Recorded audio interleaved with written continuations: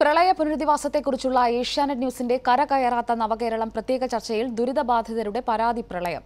അർഹരെ പട്ടികയിൽ നിന്ന് ഒഴിവാക്കി സഹായധനത്തിന് കാലതാമസം മാനദണ്ഡങ്ങളിലെ അവ്യക്തത തുടങ്ങിയ പരാതികളാണ് ഉയർന്നത്. പട്ടിക പുതുക്കി കാലതാമസം കൂടാതെ സഹായം നൽകണമെന്നാണ് ദുരിതബാധിതരുടെ ആവശ്യം.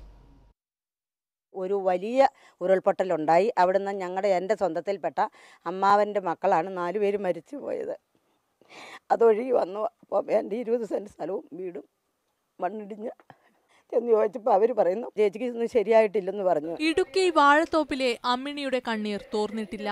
അമ്മിണിയെപ്പോലുള്ള ദുരിതബാധിതർക്ക് പറയാനുള്ളത് ചുവപ്പുനാട കുരുക്കിനെ കുറിച്ച്?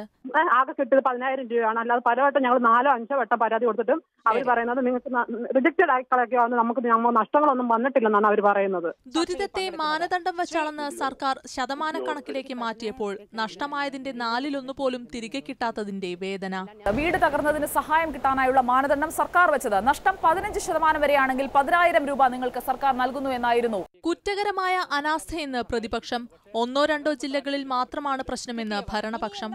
പരാതികൾ പോലും കളക്ടറേറ്റിൽ മേടിക്കുന്നില്ല എന്നുള്ളത് ഒരു യാഥാർത്ഥ്യമായി നിലനിൽക്കുകയാണ്. ഒന്നോ രണ്ടോ ജില്ലകളിൽ മാത്രമാണ് അല്പം കാലതാമസം കാണുന്നത്. ബാക്കി ജില്ലകളിലൊക്കെ തന്നെ വളരെ വേഗതയിൽ തന്നെ കാര്യങ്ങൾ മുന്നോട്ട് നീങ്ങുകയാണ്. ഉദ്യോഗസ്ഥരെ പഴിക്കേണ്ടതില്ലെന്ന് മുൻ ചീഫ് സെക്രട്ടറി എം വിജയനുണ്ണി.